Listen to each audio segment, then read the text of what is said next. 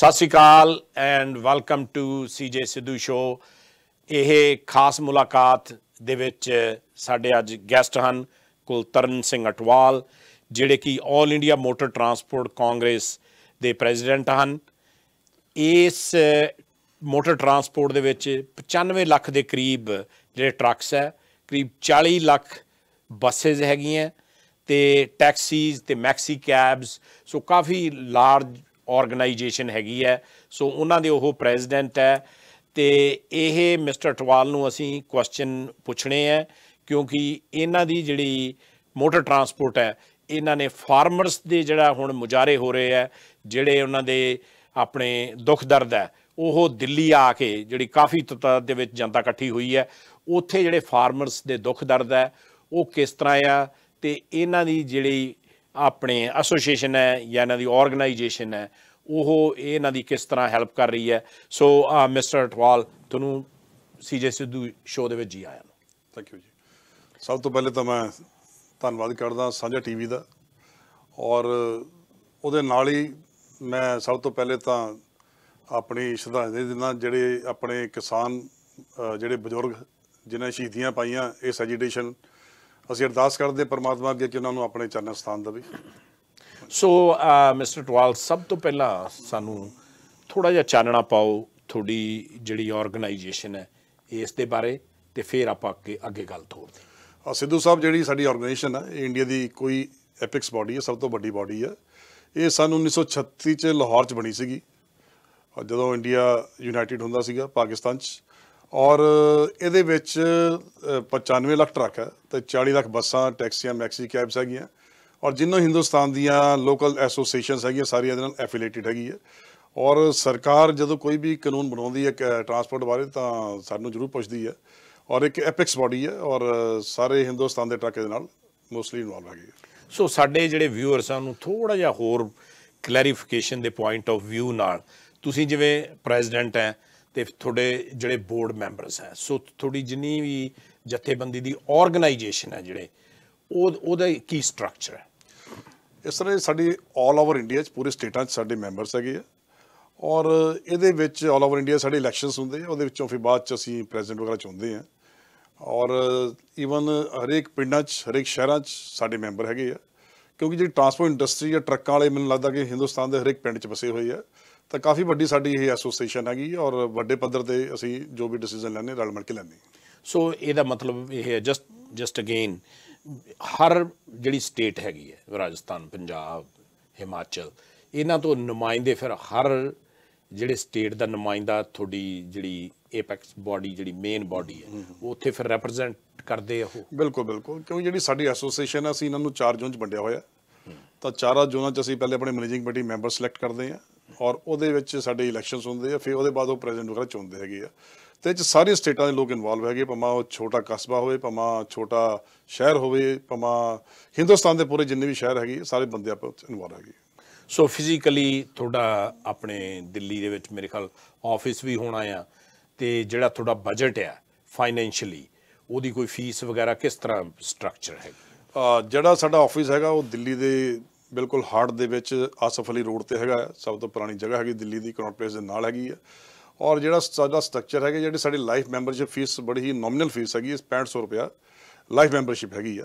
ਔਰ 1200 ਰੁਪਇਆ ਸਾਡੀ ਸਾਲਾਨਾ ਮੈਂਬਰਸ਼ਿਪ ਹੈਗੀ ਆ ਜਿਹੜੇ ਛੋਟੇ ਆਪਰੇਟਰ ਹੈਗੇ ਆ। ਕਿਉਂਕਿ 85% ਉਹ ਆਪਰੇਟਰ ਹੈਗੇ ਜਿਹੜਾ ਕੋਲ ਸਿੰਗਲ ਗੱਡੀ ਆ ਜਾਂ ਪੰਜ ਗੱਡੀਆਂ ਤੋਂ ਘੱਟ ਹੈਗੇ ਆ। ਉਹਨਾਂ ਵਾਸਤੇ ਅਸੀਂ ਬੜੀ ਨੋਮੀਨਲ ਫੀਸ ਰੱਖੀ ਹੈ 1200 ਅ, ਰੁਪਇਆ ਸਾਲ ਦੀ। ਤੇ ਉਹ ਸਾਡੇ ਮੈਂਬਰ ਬਣ ਸਕਦੇ ਆ। ਔਰ ਕਿਸੇ ਵੀ ਮੇਰੇ ਭਰਾ ਨੂੰ ਦੁੱਖ ਤਕਲੀਫ ਕਿਤੇ ਵੀ ਹੁੰਦੀ ਹੈ ਪੂਰੇ ਹਿੰਦੁਸਤਾਨ 'ਚ ਤਾਂ ਅਸੀਂ ਉਹਨਾਂ ਨਾਲ ਖੜਦੇ ਹਾਂ।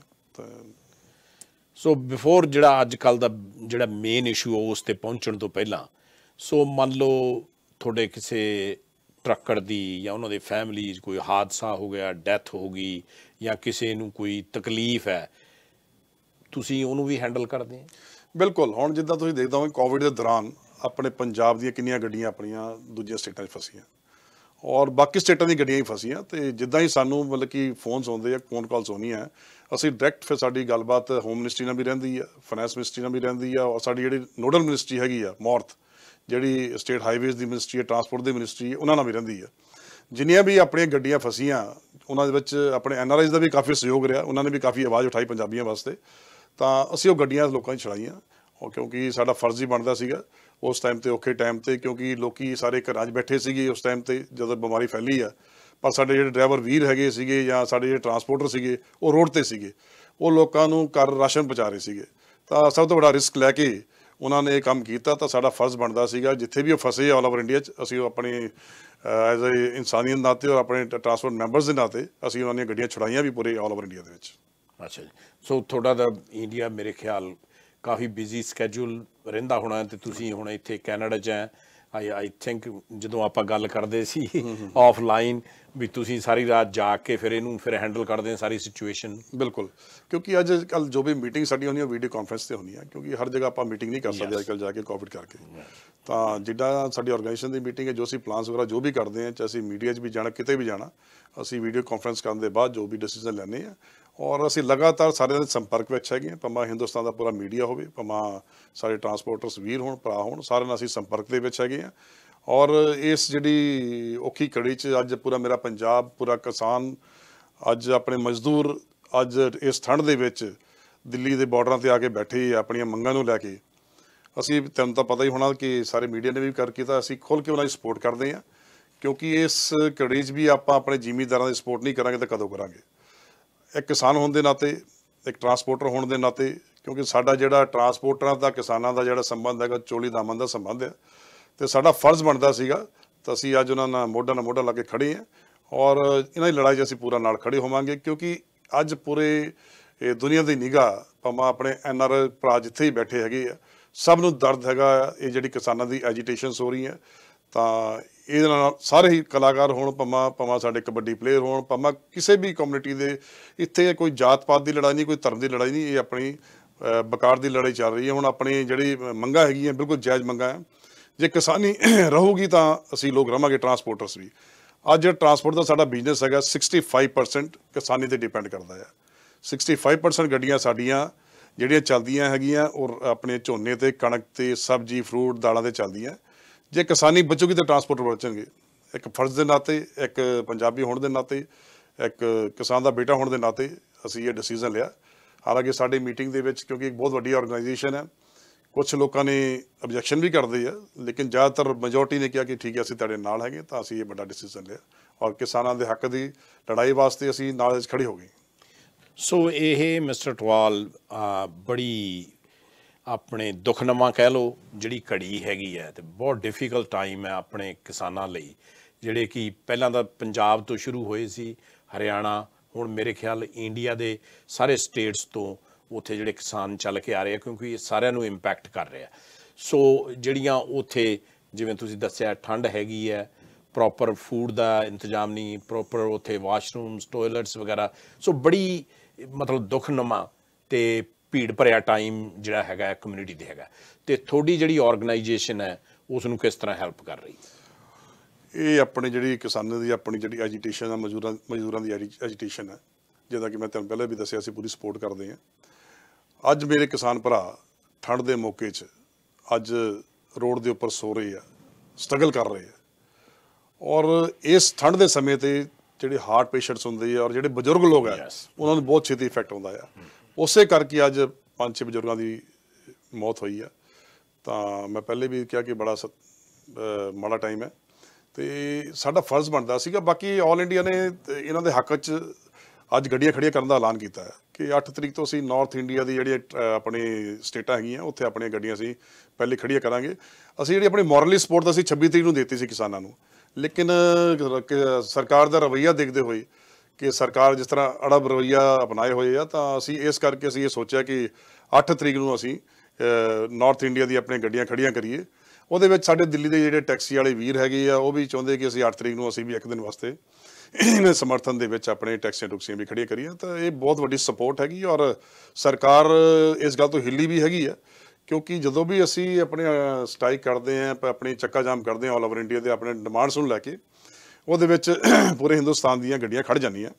ਔਰ ਉਹ 'ਚ ਲਗਭਗ ਰੋਜ਼ ਦਾ 2-3000 ਕਰੋੜ ਦਾ ਟਰਾਂਸਪੋਰਟਰ ਦਾ ਵੀ ਨੁਕਸਾਨ ਹੁੰਦਾ ਆ. ਔਰ 8 ਤੋਂ 10000 ਰੁਪਇਆ 8 ਤੋਂ 10000 ਕਰੋੜ ਰੁਪਏ ਦਾ ਸਰਕਾਰ ਦਾ ਨੁਕਸਾਨ ਹੁੰਦਾ ਆ। ਤਾਂ ਬਹੁਤ ਵੱਡੇ ਪੱਧਰ ਤੇ ਇਹ ਐਜੀਟੇਸ਼ਨ ਹੁੰਦੀ ਆ। ਤਾਂ ਉਹਦੇ ਵਿੱਚ ਸਰਕਾਰ 5-6 ਦਿਨਾਂ ਬਾਅਦ ਸਾਡੇ ਨਾਲ ਗੱਲ ਵੀ ਕਰਦੀ ਆ ਅੜਦੀ ਵੀ ਆ ਔਰ ਗੱਲਾਂ ਬਾਤਾਂ ਵੀ ਹੁੰਦੀਆਂ ਜਿੱਦਾਂ ਅੱਜ ਕਿਸਾਨ ਦੇ ਐਜੀਟੇਸ਼ਨ ਦੇ ਵਿੱਚ ਵੀ ਅੱਜ ਮੇਰੇ ਖਿਆਲ 9 ਦਿਨ ਹੋ ਗਏ ਆ ਕਿਸਾਨਾਂ ਨੂੰ। ਤਾਂ ਸਰਕਾਰ ਗੱਲਬਾਤ ਕਰ ਰਹੀ ਆ ਲੇਕਿਨ ਸਰਕਾਰ ਦੇ ਜਿਹੜੇ ਟੈਕਟਿਕਸ ਹੁੰਦੇ ਆ ਕਿ ਸ਼ੁਰੂ ਸ਼ੁਰੂ ਚ ਇਸ ਐਜੀਟੇਸ਼ਨ ਨੂੰ ਕਿੱਦਾਂ ਸਲੋ ਕਰਨਾ ਆ ਉਹ ਪੂਰਾ ਦੇਖਦੀ ਆ ਕਿ ਕਿੰਨਾ ਦਮ ਹੈ ਇਸ ਐਜੀਟੇਸ਼ਨ ਦੇ ਵਿੱਚ। ਉਹ ਸਰਕਾਰ ਦੇਖ ਵੀ ਰਹੀ ਹੈ ਗੱਲਾਂ ਕਰ ਰਹੀ ਹੈ ਜਿੱਦਾਂ ਸਾਡੇ ਜਿਹੜੀ ਅੱਜ ਗੱਲਬਾਤ ਹੋ ਰਹੀ ਹੈ ਪਹਿਲੇ ਉਹ ਉਹਨਾਂ ਨੇ ਆਪਣੇ ਰੇਲਵੇ ਮਿਨਿਸਟਰ ਨੂੰ ਅੱਗੇ ਕੀਤਾ ਹੋਇਆ ਹੈ ਪਿਊਸ਼ ਗੋਇਲ ਜੀ ਨੂੰ। ਹਾਲਾਂਕਿ ਰੇਲਵੇ ਮਿਨਿਸਟਰ ਦਾ ਇੰਨਾ ਵੱਡਾ ਕੋਈ ਰੋਲ ਨਹੀਂਗਾ ਲੇਕਿਨ ਉਹ ਮਿਨਿਸਟਰ ਥੋੜਾ ਸਮਾਰਟ ਵੀ ਹੈਗਾ ਗੱਲਾਂ ਬਾਤਾਂ ਕਰਨ ਨੂੰ ਔਰ ਲਟਕਾਉਣ ਨੂੰ ਵੀ ਸਮਾਰਟ ਹੈਗਾ ਤਾਂ ਉਹ ਸਭ ਸਰਕਾਰ ਆਪਣੀ ਚਾਲਾਂ ਚੱਲਦੀ ਹੈ ਔਰ ਸਰਕਾਰ ਨੇ ਤੁਹਾਨੂੰ ਤਾਂ ਪਤਾ ਹੀ ਸੀ ਇਹ ਸਾਹਿਬ ਜਿੱਦਾਂ ਪਹਿਲੀ ਮੀਟਿੰਗ ਦੇ ਵਿੱਚ ਕਿ ਸਰ ਕਿਸਾਨਾਂ ਨੂੰ ਪਾੜਨ ਦੀ ਵੀ ਕੋਸ਼ਿਸ਼ ਕੀਤੀ। ਉਹਨਾਂ ਨੂੰ ਕਿਹਾ ਕਿ ਤੁਸੀਂ ਜਿੱਦਾਂ ਕਰੋ ਤੁਸੀਂ ਆਪਣੇ ਪੰਜ ਮੈਂਬਰ ਦੇ ਦਿਓ। ਇੱਥੇ 35 ਜਥੇਬੰਦੀਆਂ ਹੈਗੀਆਂ ਜੇ ਤੁਸੀਂ ਪੰਜ ਮੈਂਬਰ ਤੋੜਦੇ ਤਾਂ ਆਪਸ ਫ਼ਰਕ ਪੈ ਜਾਂਦਾ ਆ।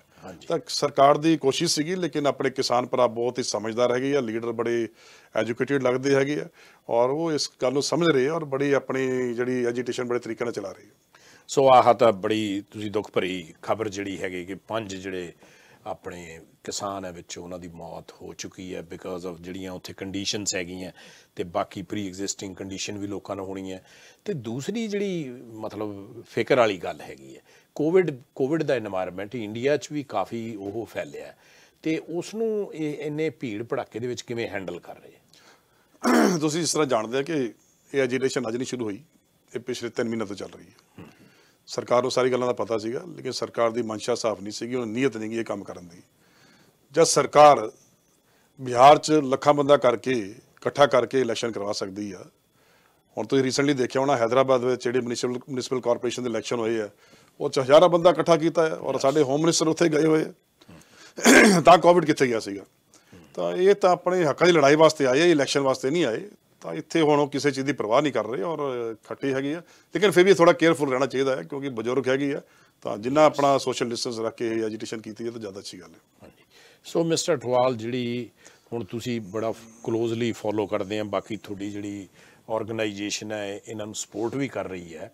ਸੋ ਇਹ ਜਿਹੜਾ ਚੱਕਾ ਜਾਮ ਵਾਲਾ ਤੁਸੀਂ ਕਦਮ ਚੱਕਿਆ ਆ ਆਪਣੇ ਨਾਰਥ ਅਮਰੀਕਾ ਜਦੋਂ ਬੰਦ ਹੋਣਾ ਉਹਦਾ ਵੀ ਪ੍ਰੈਸ਼ਰ ਪਾਉਣਾ। ਤੇ ਹਾਂਜੀ? ਨਾਰਥ ਇੰਡੀਆ ਬੰਦ ਹੋਣਾ। ਸਾਰੇ ਨਾਰਥ ਇੰਡੀਆ ਦੇ ਵਿੱਚ ਰਾਈਟ ਐਂਡ ਸੋ ਸਾਰੀ ਮਤਲਬ ਜਿਹੜੀਆਂ ਸਾਰੀਆਂ ਕਮਿਊਨਿਟੀਆਂ ਜਿਹੜੀਆਂ ਡਿਸਟਰਬ ਹੁੰਦੀਆਂ ਆਬਵੀਅਸਲੀ ਸੋ ਇਹ ਕਿੱਥੇ ਹੁਣ ਗੱਲ ਕਿੱਥੇ ਖੜੀ ਹੈ? ਇਦਾਂ ਜੀ ਮੈਂ ਤੁਹਾਨੂੰ ਦੱਸਿਆ ਜਦ ਸਾਡਾ ਪੰਜਾਬ ਉੱਥੇ ਦਿੱਲੀ ਦੇ ਬਾਰਡਰ ਤੇ ਆ ਕੇ ਖੜਾ ਹੈ ਕਿ ਉੱਥੇ ਟਰਾਂਸਪੋਰਟਰਸ ਨੇ ਤਾਂ ਸਪੋਰਟ ਕਰਨੀ ਕਰਨੀ ਸੀਗੀ। ਔਰ ਹਾਲਾਂਕਿ ਲੋਕਾਂ ਨੂੰ ਪਰੇਸ਼ਾਨੀ ਹੁੰਦੀ ਇਸ ਦੇ ਵਿੱਚ ਪਰ ਇਹ ਸਾਡੀ ਮਜਬੂਰੀ ਕਹ ਲਓ ਜਾਂ ਸਾਡਾ ਆਪਣਾ ਦਿਲੋਂ ਸੀ ਚਾਹੁੰਦੇ ਕਿ ਅਸੀਂ ਸਪੋਰਟ ਕਰੀਏ।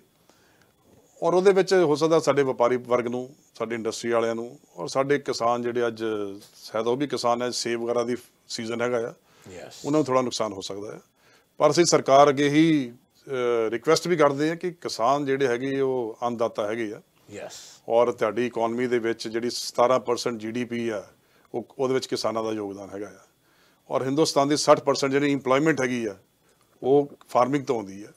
ਤਾਂ ਬਹੁਤ ਵੱਡਾ ਇਹਨਾਂ ਦਾ ਯੋਗਦਾਨ ਹੈਗਾ, ਤਾਂ ਇਹਨਾਂ ਦੀ ਗੱਲ ਛੇਤੀ ਸੁਣੀ ਜਾਵੇ। ਔਰ ਜਿਨ੍ਹਾਂ ਨੂੰ ਲੰਗਰ ਰੌਣ ਕਰਾਂਗੇ, ਉਹਨਾਂ ਦੇਸ਼ ਦਾ ਵੀ ਨੁਕਸਾਨ ਹੈ ਔਰ ਆਪਣਾ ਇਹ ਐਜੀਟੇਸ਼ਨ ਵੀ ਹੋਰ ਸਟਰੋਂਗ ਹੋਊਗੀ ਮੇਰੇ ਹਿਸਾਬ ਨਾਲ, ਤਾਂ ਇਹ ਦੇਸ਼ ਵਾਸਤੇ ਠੀਕ ਨਹੀਂ ਹੈ। ਤੇ ਉਸ ਤੋਂ ਇਲਾਵਾ ਮਿਸਟਰ ਟਵਾਲ ਤੁਸੀਂ ਵੀ ਕਿਸਾਨ ਪਰਿਵਾਰ ਤੋਂ, ਮੈਂ ਵੀ ਕਿਸਾਨ ਪਰਿਵਾਰ ਤੋਂ ਹਾਂ। ਆਪਾਂ ਨੂੰ ਪਤਾ ਕਿ ਜਿਹੜਾ ਐਵਰੇਜ ਜਿਹੜਾ ਜ਼ਮੀਂਦਾਰ ਆਪਾਂ ਕਹਿ ਦਈਦਾ ਫਾਰਮਰ ਜਿਹੜਾ ਹੈਗਾ, ਬੜੀ ਐਵਰੇਜ ਉਹਨਾਂ ਦਾ ਲਾਈਫ ਸਟਾਈਲ ਹੈ। ਤੇ ਬੜੀ ਹਾਰਡ ਜਿਹੜੀ ਖੇਤੀ ਕਰਨੀ ਮੈਨੂੰ ਵੀ ਮੌਕਾ ਮਿਲਿਆ 2 ਸਾਲ ਖੇਤੀ ਕਰਨ ਦਾ ਜਦੋਂ ਮੈਂ ਸਟੂਡੈਂਟ ਸੀਗਾ। ਹਾਂਜੀ, ਹਾਂਜੀ। ਐਂਡ ਐਂਡ ਹਾਰ ਕੇ ਮੈਂ ਕਿਹਾ ਵੀ ਜਾਂ ਤਾਂ ਖੇਤੀ ਕਰਾ ਲਓ ਜਾਂ ਪੜਾ ਲਓ। ਠੀਕ ਹੈ। ਹਾਂਜੀ? ਸੋ ਇਹ ਜਿਹੜੀ ਹੈਗੀ ਜਦੋਂ ਤੁਸੀਂ ਕਲੋਜ਼ਲੀ ਫਰਸਟ ਹੈਂਡ ਤੁਸੀਂ ਵੀ ਦੇਖਿਆ ਹੋਣਾ ਆ ਸੋ ਕਿਸਾਨ ਦੀ ਤਾਂ ਵੈਸੇ ਹੀ ਹਾਲਤ ਕੋਈ ਬਹੁਤ ਜ਼ਿਆਦਾ ਚੰਗੀ ਨਹੀਂ ਹੈਗੀ। ਬੜੀ ਖੁਸ਼ਨੁਮਾ ਕੋਈ ਵੈਲਥੀ ਪੀਪਲ ਨਹੀਂ ਹੈਗੇ। ਸੋ ਉਸ ਦੇ ਬਾਵਜੂਦ ਵੀ ਉਹਨਾਂ ਨੇ ਜਿਹੜੀ ਫਸਲ ਆਪਣੇ ਪੈਦਾ ਕਰਨੀ ਹੈ ਇੰਨਾ ਹਾਰਡ ਵਰਕ ਕਰਨ ਤੋਂ ਜੇ ਉਹਦੀ ਪ੍ਰੋਪਰ ਪ੍ਰਾਈਸ ਨਹੀਂ ਮਿਲਣੀ ਤਾਂ ਬੜਾ ਬੜਾ ਦੁਖਨੁਮਾ ਬੜਾ। ਇਸ ਕਿੱਸਾ ਹੈ। ਤਰ੍ਹਾਂ ਸੀਜੇ ਸਾਹਿਬ ਅੱਜ 75 ਤੋਂ 80% ਜਿਹੜਾ ਕਿਸਾਨ ਹੈ ਉਹ ਪੰਜ ਖੇਤਾਂ ਤੋਂ ਘੱਟ ਤੋਂ ਕੋਈ ਜ਼ਮੀਨ ਹੈ। ਔਰ ਪੰਜਾਬ ਦਾ ਕੀ ਪੂਰੇ ਹਿੰਦੁਸਤਾਨ ਦਾ ਕਿਸਾਨ ਸਾਰਾ ਕਰਜ਼ਾਈ ਹੈ. ਉਹੀ ਸਾਡੇ ਟਰਾਂਸਪੋਰਟ ਟਰਾਂਸਪੋਰਟ ਸੈਕਟਰ ਦਾ ਹਾਲ ਹੈ। ਸਾਡੇ 85% ਜਿਹੜੇ ਟਰੱਕ ਆਪਰੇਟਰ ਹੈ ਉਹ ਸਿੰਗਲ ਜਾਂ ਪੰਜ ਗੱਡੀਆਂ ਤੋਂ ਘੱਟ ਹੈ। ਅੱਜ ਸਾਰੇ ਕਰਜ਼ੇ ਥੱਲੇ ਡੁੱਬੇ ਹੋਏ ਆ। ਅੱਜ ਸਰਕਾਰ ਨੂੰ ਇਹ ਨਹੀਂ ਦਿਸਦਾ ਕਿ ਅੱਜ ਕਿਸਾਨ ਆਪਣਾ ਸੁਸਾਈਡ ਕਰ ਰਹੇ ਆ ਅੱਜ ਟਰਾਂਸਪੋਰਟਰ ਸੁਸਾਈਡ ਕਰ ਰਹੀ ਹੈ, ਪਰ ਸਰਕਾਰ ਨੂੰ ਸਿਰਫ ਆਪਣੇ ਨਾਲ ਮਤਲਬ ਹੈ। ਅੱਜ ਇੱਕ ਉਹ ਛੋਟਾ ਜਿਹਾ ਕਲਾਕਾਰ ਸੁਸ਼ਾਂਤ ਰਾਜਪੂਤ ਮਰ ਜਾਂਦਾ ਹੈ, ਤਾਂ ਮੀਡੀਆ ਉਹਨਾਂ ਨੂੰ ਮੀਨਾ ਮੀਨਾ ਕਵਰ ਕਰਦਾ ਹੈ। ਪਰ ਇਹ ਗਰੀਬ ਕਿਸਾਨਾਂ ਨੂੰ ਔਰ ਟਰਾਂਸਪੋਰਟਰ ਨੂੰ ਕੋਈ ਕਵਰ ਨਹੀਂ ਕਰਦਾ। ਸਭ ਤੋਂ ਮਿਹਨਤਕਸ਼ ਕੌਮ ਅੰਨਦਾਤਾ ਸਭ ਦਾ। ਉਹਦੇ ਬਾਅਦ ਟਰਾਂਸਪੋਰਟਰ ਦਾ ਵੀ ਕੰਮ ਲੋਕਾਂ ਤੱਕ ਫੂਡ ਪਹੁੰਚਾਉਂਦਾ ਹੈ ਐਸੈਂਸ਼ੀਅਲ ਕਮੋਡਿਟੀਜ਼ ਦੀ ਸਪਲਾਈ ਕਰਦਾ ਹੈ ਮੈਡੀਸਨ ਦੀ ਸਪਲਾਈ ਕਰਦਾ ਹੈ, ਪਰ ਇਹਨਾਂ ਦੋਨਾਂ ਸੈਕਟਰ ਨੂੰ ਇਗਨੋਰ ਕੀਤਾ ਜਾਂਦਾ ਹੈ। ਅੱਜ ਕਿਸਾਨਾਂ ਦਾ ਤਾਂ ਟਰਾਂਸਪੋਰਟਰਾਂ ਦਾ ਬਹੁਤ ਵੱਡਾ ਯੋਗਦਾਨ ਹੈ ਦੇਸ਼ ਦੇ ਵਿੱਚ। ਉਹਦੇ ਵਿੱਚ ਤੁਸੀਂ ਦੇਖ ਲਓ ਜਿਹੜੀ ਸਰਕਾਰ ਦਾ ਰੈਵਨਿਊ ਆਉਂਦਾ 12.5 ਲੱਖ ਕਰੋੜ ਰੁਪਏ ਤੇਲ ਤੋਂ ਡੀਜ਼ਲ ਤੋਂ। 39% ਜਿਹੜੀ ਕੰਜ਼ੰਪਸ਼ਨ ਟਰਾਂਸਪੋਰਟਰ ਕਰਦਾ, ਉਹਦੇ 'ਚ ਬੱਸਾਂ ਵੀ ਆ ਜਾਂਦੀਆਂ, ਟੈਕਸੀਆਂ ਵੀ ਆ ਜਾਂਦੀਆਂ, ਟਰੱਕ ਵੀ ਆ ਜਾਂਦੇ ਆ। ਉਹਦੇ ਬਾਅਦ ਜਿਹੜਾ ਦੂਸਰਾ ਸੈਕਟਰ ਹੈਗਾ ਆ, ਲਗਭਗ 18 ਤੋਂ 19% ਜਿਹੜੀ ਤੇਲ ਦੀ ਕੰਜ਼ੰਪਸ਼ਨ ਹੈ ਡੀਜ਼ਲ ਦੀ, ਉਹ ਕਿਸਾਨ ਕਰਦਾ ਆ। ਓਵਰਆਲ 60% ਕੰਜ਼ੰਪਸ਼ਨ ਡੀਜ਼ਲ ਦੀ ਕਿਸਾਨ ਔਰ ਟਰਾਂਸਪੋਰਟਰ ਕਰਦੇ ਆ। 12.5 ਲੱਖ ਕਰੋੜ ਰੁਪਏ ਨਾਲ ਜਿਹੜੀ ਹਿੰਦੁਸਤਾਨ ਦੀ ਸਰਕਾਰ ਚੱਲਦੀ ਆ, ਹਿੰਦੁਸਤਾਨ ਚੱਲਦਾ ਆ, ਉਹਨਾਂ 60% ਯੋਗਦਾਨ ਇਹਨਾਂ ਦੋਨਾਂ ਦਾ ਹੈਗਾ ਆ। ਉਹਦੇ ਬਾਅਦ ਵੀ ਸਰਕਾਰ ਇਗਨੋਰ ਕਰੇ ਤਾਂ ਬੜੇ ਅਫਸੋਸ ਵਾਲੀ ਗੱਲ ਹੈ ਬੜੀ ਹੀ ਮਾੜੀ ਗੱਲ ਹੈ ਔਰ ਲੇਕਿਨ ਸਰਕਾਰ ਨੂੰ ਇਸ ਬਾਰੇ ਸੋਚਣਾ ਚਾਹੀਦਾ, ਅਗਰ ਨਹੀਂ ਸੋਚੂਗੀ ਤਾਂ ਸਰਕਾਰ ਵਾਸਤੇ ਬਹੁਤ ਹੀ ਮੁਸ਼ਕਲ ਆਉਣ ਵਾਲਾ ਟਾਈਮ ਤੇ ਉਸ ਦੇ ਨਾਲ ਨਾਲ ਜੇ ਆਪਾਂ ਦੇਖੀਏ ਜਾਵੇ ਜੇ ਆਪਣੇ ਜਿਹੜੇ ਵਿਊਅਰਸ ਹੈ ਮਤਲਬ in a simple Punjabi language ਦੇ ਵਿੱਚ ਜਿਹੜੇ ਜਿਹੜੇ ਮੁੱਦੇ ਹੈਗੇ ਕਿਉਂਕਿ ਪਹਿਲਾਂ ਆਮ ਕਿਸਾਨ ਜਿਹੜਾ ਸੀਗਾ, ਉਹ ਆਪਦੀ ਫਸਲ ਨੂੰ ਆੜਤੀਆਂ ਦੇ ਲੈ ਕੇ ਜਾਂਦਾ ਸੀ। ਇੰਗਲਿਸ਼ ਆਪਾਂ ਕਮਿਸ਼ਨ ਏਜੰਟ ਕਹਿ ਦਈਦਾ। ਸੋ ਉਹ ਉਹਨਾਂ ਨਾਲ ਆਪਦੇ ਤਾਲੁਕਾਤ ਸੀ, ਸੰਬੰਧ ਸੀ। ਉਹ ਵੀ small mostly small scale business people ਹੈ ਸੋ ਉਹਦਾ ਜਿਹੜਾ ਇੰਪੈਕਟ ਹੈ ਕਿਸਾਨ ਤੇ, ਫਿਰ ਉੱਥੇ ਲੋਕਲ ਮੰਡੀਆਂ ਤੇ ਲੋਕਲ ਸ਼ਹਿਰਾਂ ਤੇ, ਉਹਨਾਂ ਦੇ ਜਿਹੜੇ ਸਮਾਲ ਬਿਜ਼ਨਸਮੈਨ ਆ, ਉਹਨਾਂ ਤੇ ਇਹਦੇ ਬੜੇ ਰਿਪਲ ਇਫੈਕਟ ਹੈ ਸੋ ਇਸ ਚ ਦਾ ਬਿਗ ਹਾਊਸਸ ਦਾ ਬਿਗ ਇੰਡਸਟਰੀ ਇਹਨੂੰ ਡੀਰੈਗੂਲੇਟ ਕਰਨ ਦੀ ਕੋਈ ਮੇਰੇ ਖਿਆਲ ਨਹੀਂ ਕੋਈ ਬਹੁਤ ਜ਼ਿਆਦਾ ਸਮਾਰਟ ਸੋਚ ਹੈ। ਮੈਂ ਇੱਕ ਗੱਲ ਤੈਨੂੰ ਹੋਰ ਦੱਸਾਂ ਕਿ ਜਿਹੜਾ ਆਪਣਾ ਕਿਸਾਨ ਹੈ ਬਹੁਤ ਵੱਡਾ ਡਿਪੈਂਡੈਂਟ ਰਿਹਾ ਤੱਕ ਆੜਤੀਆਂ ਤੇ ਵੀ। ਕਿਉਂਕਿ ਸੁੱਖ ਦੁੱਖ ਵੇਲੇ ਕੋਈ ਵਿਆਹ ਸ਼ਾਦੀ ਵੇਲੇ ਜਾਂ ਕਿਸੇ ਹੋਰ ਜਿੱਦਾਂ ਮੈਂ ਦੱਸਿਆ ਕਿ ਕਿਸਾਨ ਦਾ ਸਾਰਾ ਕਰਜ਼ਾਈ ਹੈ। ਜਦੋਂ ਪੈਸੇ ਦੀ ਲੋੜ ਪੈਂਦੀ ਹੈ ਤਾਂ ਆੜਤੀ ਤੋਂ ਐਡਵਾਂਸ ਫੜ ਲੈਂਦਾ ਹੈ। ਯੈਸ ਤਾਂ ਬੀ ਕਾਰਪੋਰੇਟਸ ਨੇ ਪੈਸਾ ਨਹੀਂ ਦੇਣਾ। ਦੂਜੀ ਗੱਲ ਆਪਣਾ ਰੋਲਾ ਕੀ ਹੈ? ਐਮਐਸਪੀ ਦਾ ਰੋਲਾ ਹੀ ਹੈ ਨਾ ਕਿਸਾਨ ਕੀ ਚਾਹੁੰਦੇ ਆ? ਕਿ ਐਮਐਸਪੀ ਰਵੇ ਕਿਉਂਕਿ ਪੰਜਾਬ 'ਚ ਜਿਹੜੀ ਫਸਲ ਮੇਨ ਝੋਨੇ ਤੇ ਕਣਕ ਤੇ ਹੈ ਉਹਦੇ ਉੱਪਰ ਐਮਐਸਪੀ ਚਾਹੀਦੀ ਹੈ। ਅਗਰ ਐਮਐਸਪੀ ਨਹੀਂ ਹੋਊਗੀ ਤੇ ਅੱਜ ਜੋ ਯੂਪੀ ਛਾਲ ਹੋ ਰਿਹਾ ਹੈ, 800 ਨੂੰ 1000 ਨੂੰ 1200 ਨੂੰ ਝੋਨਾ ਵੀ ਗੰਢਿਆ ਹੈ। ਐਮਐਸਪੀ ਉਹਦੀ 1868 ਹੈ। ਤਾਂ ਸ- ਕਿਸਾਨ ਇਹੀ ਚੀਜ਼ ਤਾਂ ਮੰਗ ਰਿਹਾ ਕਿ ਸਾਨੂੰ ਸਿਕਿਉਰ ਕਰੋ। ਅੱਜ 1868 ਚ ਵੀ ਉਹਨਾਂ ਦੇ ਖਰਚੇ ਪੂਰੇ ਨਹੀਂ ਹੋ ਰਹੇ ਔਰ ਘਾਟੇ 'ਚ ਕੰਮ ਕਰ ਰਹੇ ਆ ਔਰ ਕਰਜ਼ੇ ਥੱਲੇ ਡੁੱਬੇ ਆ। ਜੇ ਹੀ ਫਸਲ ਹਜ਼ਾਰ ਦੀ ਵਿਕੂਗੀ ਤਾਂ ਕਿੱਥੋਂ ਇਹ ਕਾਮਯਾਬ ਹੋਣਗੇ? ਵੱਡੇ ਕਾਰਪੋਰੇਟਰ ਨੂੰ ਖਾ ਜਾਣਗੇ, ਆਪਣੇ ਵੇਅਰਹਾਊਸ ਬਣਾਉਣਗੇ, ਆਪਣੇ ਸਟੋਰੇਜ ਕਰਨਗੇ। ਇਹਦਾ ਇੰਪੈਕਟ ਟਰਾਂਸਪੋਰਟ ਤੇ ਵੀ ਆਊਗਾ। ਕਿਉਂਕਿ ਅੱਜ ਕਿਸਾਨਾਂ ਨੂੰ ਉਹਨਾਂ ਨੇ ਕੈਪਚਰ ਕੀਤਾ ਕੱਲ ਨੂੰ ਉਹਨਾਂ ਨੇ ਆਪਣੀਆਂ ਟਰਾਂਸਪੋਰਟ ਕੰਪਨੀਆਂ ਖੋਲਣੀਆਂ ਹੈ। ਤਾਂ ਛੋਟੇ ਟਰਾਂਸਪੋਰਟਰ 85% ਜਿਹੜੇ ਸਿੰਗਲ ਆਪਰੇਟਰ ਹੈ, ਉਹ ਖਤਮ ਹੋ ਜਾਣਗੇ, ਬਰਬਾਦ ਹੋ ਜਾਣਗੇ। ਇਸ ਵਾਸਤੇ ਸਾਨੂੰ ਬੜਾ ਅਲਰਟ ਰਹਿਣਾ ਚਾਹੀਦਾ ਹੈ। ਸਰਕਾਰ ਨੇ ਵੱਡੀਆਂ ਕੰਪਨੀਆਂ ਦਾ ਫਾਈਨੈਂਸ ਕਰ ਦੇਣਾ ਆ ਛੋਟੇ ਆਪਰੇਟਰ ਨੂੰ ਕੋਈ ਫਾਈਨੈਂਸ ਨਹੀਂ ਕਰਦਾ, ਛੋਟੇ ਫਾਰਮਰਸ ਨੂੰ ਕੋਈ ਫਾਈਨੈਂਸ ਨਹੀਂ ਕਰਦਾ। ਜੇਕਰ ਉਹ ਵੱਡੀਆਂ ਕੰਪਨੀ ਘਾਟੇ 'ਚ ਵੀ ਜਾਂਦੀਆਂ ਉਹਨਾਂ ਨੂੰ ਕਰੋੜਾਂ ਅਰਬਾਂ ਰੁਪਏ ਲੋਨ ਮਿਲ ਜਾਂਦਾ ਆ ਉਹ ਸਰਵਾਈਵ ਕਰ ਸਕਦੇ ਲੇਕਿਨ ਟਰਾਂਸਪੋਰਟਰ ਔਰ ਜਿਹੜੇ ਕਿਸਾਨ ਉਹ ਸਭ ਨਾਲ ਸਰਵਾਈਵ ਕਰਨਾ ਬੜਾ ਮੁਸ਼ਕਲ ਹੈ। ਇਸ ਕਰਕੇ ਸਰਕਾਰ ਨੂੰ ਇਹਨਾਂ ਦੀ ਮੰਗਾਂ ਮੰਨਣੀਆਂ ਚਾਹੀਦੀਆਂ ਔਰ ਇਹ ਕਾਨੂੰਨ ਵਾਪਸ ਲੈਣੇ ਚਾਹੀਦੇ। So thank you mister Atwal ਤੁਸੀਂ ਸਾਡੇ ਸੱਦੇ ਤੇ ਸਾਡੇ ਸ਼ੋਅ ਤੇ ਆ ਕੇ ਸਾਡੇ ਜਿਹੜੇ ਵਿਊਅਰਸ ਹੈ ਉਹਨਾਂ ਨਾਲ ਆਪਦੇ ਵਿਚਾਰ ਸਾਂਝੇ ਕੀਤੇ। ਤੁਹਾਡੇ ਲਾਸਟ ਖਿਆਲਾਤ ਸਾਡੇ ਵਿਊਅਰਸ ਲਈ ਤੁਹਾਡਾ ਕੀ ਮੈਸੇਜ ਹੈ? ਤੁਸੀਂ ਕੀ ਕਹਿਣਾ ਚਾਹੋਗੇ? ਮੈਂ ਸਾਰੇ ਸਰੋਤਿਆਂ ਨੂੰ ਜਿਹੜੇ ਆ ਸਾਂਝਾ ਟੀਵੀ ਨਾਲ ਜੁੜੇ ਆ ਔਰ ਮੇਰੇ ਕਿਸਾਨ ਵੀਰ ਜਿਹੜੇ ਜਥੇਬੰਦੀਆਂ ਆਪਣੀਆਂ ਅੱਜ ਐਜੀਟੇਸ਼ਨ ਕਰ ਰਹੀਆਂ ਔਰ ਮਜ਼ਦੂਰ ਭਰਾ, ਅੱਜ ਸਾਰੀ ਦੁਨੀਆ ਦੀ ਨਿਗਾਹ ਤੁਹਾਡੇ ਦੇ ਉੱਪਰ ਹੈ ਮੈਂ ਕਿਸਾਨ ਲੀਡਰਾਂ ਨੂੰ ਕਹਿਣਾ ਚਾਹੁੰਦਾ ਕਿ ਸਭ ਨੂੰ ਧਿਆਨ ਰੱਖਦੇ ਹੋਏ ਜੋ ਵੀ ਫੈਸਲਾ ਕਰਨਾ ਆ, ਇਕੱਠੇ ਹੋ ਕੇ ਕਰਨਾ ਆ, ਆਪਣੀ ਏਕਤਾ ਨਹੀਂ ਤੋੜਨੀ। ਸਰਕਾਰ ਦਾ ਕੰਮ ਹੈ ਤੁਹਾਡੀ ਏਕਤਾ ਤੋੜਨ ਦਾ ਆ, ਤੁਹਾਨੂੰ ਆਪਸ ਡਿਵਾਈਡ ਕਰਨ ਦਾ ਆ, ਕਿਉਂਕਿ ਅਸੀਂ ਵੀ ਜਦੋਂ ਐਜੀਟੇਸ਼ਨਸ ਕਰਦੇ ਆ, ਸਰਕਾਰ ਦਾ ਰਵੱਈਆ ਇਹੀ ਹੁੰਦਾ ਆ ਕੋਈ ਕਮੇਟੀ ਦੇ ਚੱਕਰਾਂ 'ਚ ਨਾ ਪਿਓ। ਕਮੇਟੀ ਦਾ ਕੰਮ ਹੁੰਦਾ ਕਿ ਸਿਰਫ ਇੱਕ ਇਸ ਪ੍ਰੋਸੈਸ ਨੂੰ ਲਿੰਗਰ ਔਨ ਕਰਨ ਦਾ, ਲੰਬਾ ਕਰਨ ਦਾ, ਤਾਂ ਕਿ ਇਹ ਚੀਜ਼ਾਂ ਕਮੇਟੀ ਬਣਾ ਕੇ ਅਸੀਂ ਇਹਨੂੰ ਡਿਲੇ ਕਰਕੇ ਇਹਨੂੰ ਇਸ ਐਜੀਟੇਸ਼ਨ ਨੂੰ ਖਤਮ ਕਰੀਏ। ਇਹ ਜਿਹੜੀ ਐਜੀਟੇਸ਼ਨ ਹੈ ਬਹੁਤ ਹੀ ਇਤਿਹਾਸਿਕ ਹੈਗੀ ਆ। ਇਹ ਜਿਹੜੀ ਫਾਰਮਰਸ ਦੀ ਡਿਮਾਂਡ ਹੈਗੀ, ਮਜ਼ਦੂਰਾਂ ਦੀ ਡਿਮਾਂਡ ਹੈ, ਇਹ ਐਜੀਟੇਸ਼ਨ ਬਾਰ-ਬਾਰ ਨਹੀਂ ਹੁੰਦੀਆਂ। ਅਗਰ ਇੱਕ ਵਾਰੀ ਤੁਹਾਡੀ ਐਜੀਟੇਸ਼ਨ ਖਰਾਬ ਹੋ ਗਈ, ਤਾਂ ਦੁਬਾਰਾ ਇਕੱਠਾ ਕਰਨਾ ਮੁਸ਼ਕਲ ਹੋ ਜਾਣਾ ਹੈ। ਜੋ ਡਿਸੀਜਨ ਲੈਣਾ ਆ ਆਪਣੇ ਭਰਾਵਾਂ ਦੇ ਵਿੱਚ ਲਓ। ਅੱਜ ਸਾਰੇ ਦੁਨੀਆ ਦੇ ਐਨ ਆਰ ਆਈਜ਼, ਸਾਰੇ ਵੀਰ ਜਿਹੜੇ ਬਾਹਰਲੇ ਮੁਲਕਾਂ 'ਚ ਬੈਠੇ ਆ, ਸਭ ਦੀ ਨਿਗਾਹ ਪੰਜਾਬ ਤੇ ਆ। ਤਾਂ ਇਹ ਆਪਣੀ ਸਰਵਾਈਵਲ ਦੀ ਲੜਾਈ ਆ। ਅੱਜ ਪੰਜਾਬ ਦੇ ਕਲਾਕਾਰ, ਪੰਜਾਬ ਦੇ ਵੱਡੇ ਵੱਡੇ ਕਬੱਡੀ ਪਲੇਅਰ ਪੰਜਾਬ ਦੇ ਸਾਰੇ ਲੋਕ ਤੁਹਾਡੇ ਨਾਲ ਖੜੇ ਆ। ਇਸ ਕਰਕੇ ਜੋ ਵੀ ਤੁਸੀਂ ਲਓ, ਇਕੱਠੇ ਹੋ ਕੇ ਡਿਵਾਈਡ ਨਾ ਹੋਇਓ ਔਰ ਇਕੱਠੇ ਹੋ ਕੇ ਫੈਸਲਾ ਕਰਿਓ। ਔਰ ਮੈਂ ਪਰਮਾਤਮਾ ਅੱਗੇ ਇਹ ਅਰਦਾਸ ਕਰਦਾ ਹਾਂ ਕਿ ਇਸ ਐਜੀਟੇਸ਼ਨ ਨੂੰ ਕਾਮਯਾਬ ਹੋਵੇ ਔਰ ਕਿਸੇ ਨਾ ਕਿਸੇ ਤਰ੍ਹਾਂ ਆਪਾਂ ਆਪਣੀਆਂ ਮੰਗਾਂ ਜਿਹੜੀਆਂ ਆਪਣੀਆਂ ਜਾਇਜ਼ ਮੰਗਾਂ ਉਹ 'ਚ ਆਪਾਂ ਜਿੱਤ ਪ੍ਰਾਪਤ ਕਰੀਏ। ਕੁਲਤਰਨ ਸਿੰਘ ਅਟਵਾਲ ਪ੍ਰਧਾਨ all India transport motor transport congress ਬਹੁਤ ਬਹੁਤ ਧੰਨਵਾਦ mister Supal thank you very much ਤੁਸੀਂ ਆਏ ਸਾਡੇ ਜਿਹੜੇ ਵਿਊਅਰਸ you, ਸਾਹਿਬ ਨੇ. ਆਪਦੇ ਵਿਚਾਰ ਸਾਂਝੇ ਕੀਤੇ। ਸੋ ਸਾਡੀ ਗੱਲਬਾਤ ਚੱਲ ਰਹੀ ਸੀ। ਕੁਲਤਰਨ ਸਿੰਘ ਅਟਵਾਲ, ਜਿਹੜੇ ਕਿ president all India motor transport congress ਦੇ ਹਨ, ਇਹਨਾਂ ਨੇ ਬੜੇ ਹੀ ਸੋਹਣੇ ਤਰੀਕੇ ਨਾਲ ਆਪਦੇ ਵਿਚਾਰ ਰੱਖੇ ਕਿ ਜਿਹੜੇ ਉੱਥੋਂ ਦੇ ਫਾਰਮਰਸ ਹੈ ਤੇ ਟਰਾਂਸਪੋਰਟੇਸ਼ਨ ਹੈ, ਇਹਨਾਂ ਦਾ ਕਿਵੇਂ ਆਪਸ ਦੇ ਵਿੱਚ ਤਾਲਮੇਲ ਹੈਗਾ ਤੇ ਕਿਵੇਂ ਇੰਡਸਟਰੀ ਜਿਹੜੀ ਉੱਥੇ ਹੈਗੀ ਹੈ, ਇੱਕ ਦੋਨਾਂ ਨੂੰ ਇਫੈਕਟ ਕਰਦੀ ਹੈ ਤੇ ਕਿੱਥੇ ਡੀਜ਼ਲ ਗੈਸ ਜਿਹੜੀ ਜ਼ਿਆਦਾ ਤੋਂ ਜ਼ਿਆਦਾ ਯੂਜ਼ ਹੋ ਰਹੀ ਹੈ ਤੇ ਉਹਦਾ ਜਿਹੜਾ ਰੈਵਨਿਊ ਹੈ ਉਹਦਾ ਬੈਨੀਫਿਟ ਜਿਹੜਾ ਹੈਗਾ ਨਾ ਕੇਵਲ ਕਿਸਾਨਾਂ ਨੂੰ, ਬਲਕਿ ਸਾਰੇ ਇੰਡੀਆ ਨੂੰ ਹੋ ਰਿਹਾ ਸੋ ਇਸੇ ਹੀ ਤਰ੍ਹਾਂ ਕਿਸੇ ਨਾ ਕਿਸੇ ਬੁਲਾਰੇ ਨਾਲ ਜਾਂ ਕਮਿਊਨਿਟੀ ਐਕਟਿਵਿਸਟ ਨਾਲ ਤੁਹਾਡੀ ਗੱਲਬਾਤ ਕਰਾਉਂਦੇ ਰਵਾਂਗੇ। ਧੰਨਵਾਦ, ਸਤਿ ਸ੍ਰੀ ਅਕਾਲ, ਰੱਬ ਰੱਖ।